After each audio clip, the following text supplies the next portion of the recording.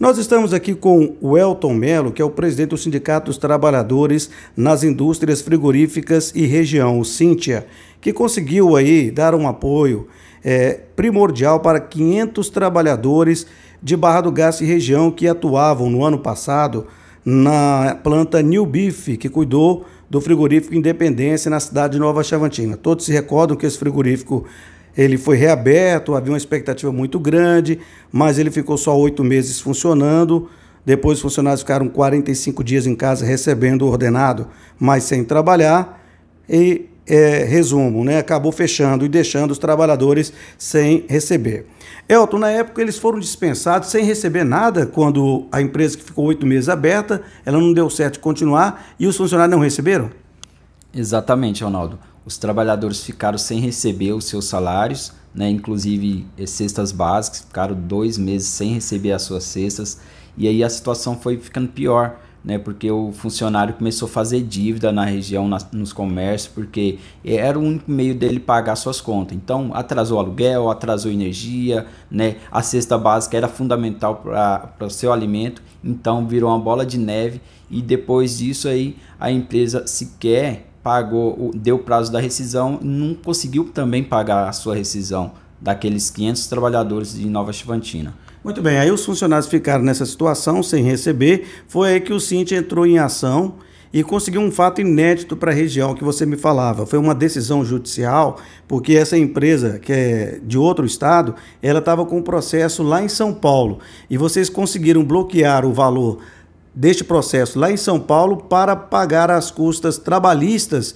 deste processo dos 500 trabalhadores que estavam lá em Chavantina, foi isso?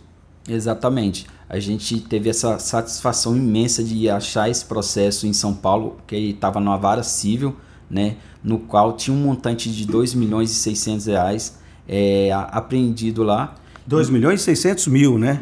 Isso, 2 milhões e 600 mil reais, né? A fim de é, pagarem os pecuaristas, porque essa empresa também, além dos trabalhadores, tinha uma dívida enorme em relação aos pecuaristas.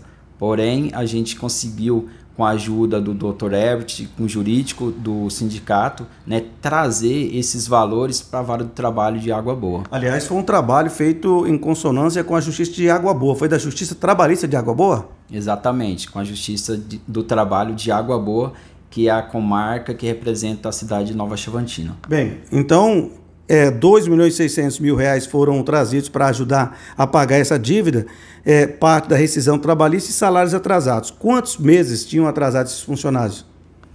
De pagamento tinha referente ao, ao salário de março, né, que eles não tinham pago, mas a rescisão FGTS e a, a, multa, a multa rescisória. Esse valor, 2 milhões e 600 mil, dá para pagar toda a dívida ou ainda vai ficar faltando um pouco ainda? Não, ainda vai ficar faltando um pouco, né? no qual uh, o sindicato já está tomando as providências de estar tá buscando, é, na, através da, da justiça mesmo, é, requerer esses direitos no quais o trabalhador não vão receber. Aliás, é, Welton, isso é importante. Muita gente pergunta o que, que faz o sindicato.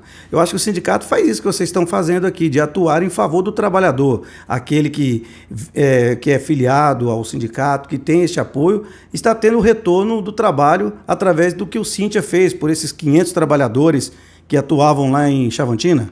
Exatamente, Ronaldo. O importante é ressaltar é que lá em Nova Chavantina a gente tinha um mês de contribuição dos associados, no qual não todos eram, porém o sindicato, através dessa ação aí, não cobrou um centavo de todos os trabalhadores, vale ressaltar isso. Inclusive a gente colocou no processo para que o juiz não deixasse entrar advogado, né, para que petição viesse atrapalhar, porque o dinheiro não é muito né? Então que esse dinheiro fosse destinado todo ele para o trabalhador.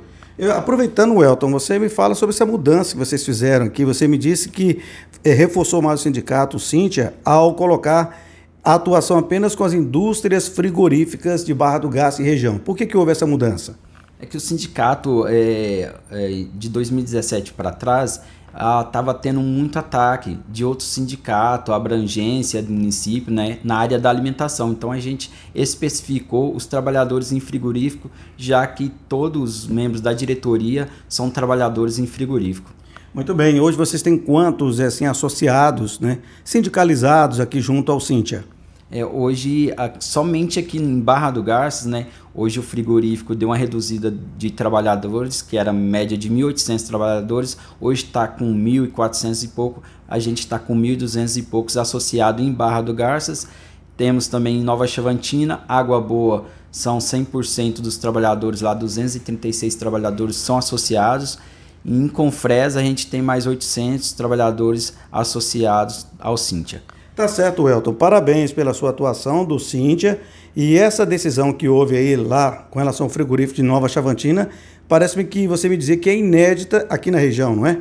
Isso, exatamente. Inclusive, querendo aproveitar aí a oportunidade da, da divulgação para pedir os trabalhadores que tenham um pouquinho de calma que tem algumas pessoas que não receberam ainda, né? No caso foram 230, no qual o sindicato juntou no processo os dados corretos da, da conta bancária de cada um que vai estar recebendo, se Deus quiser, essa semana.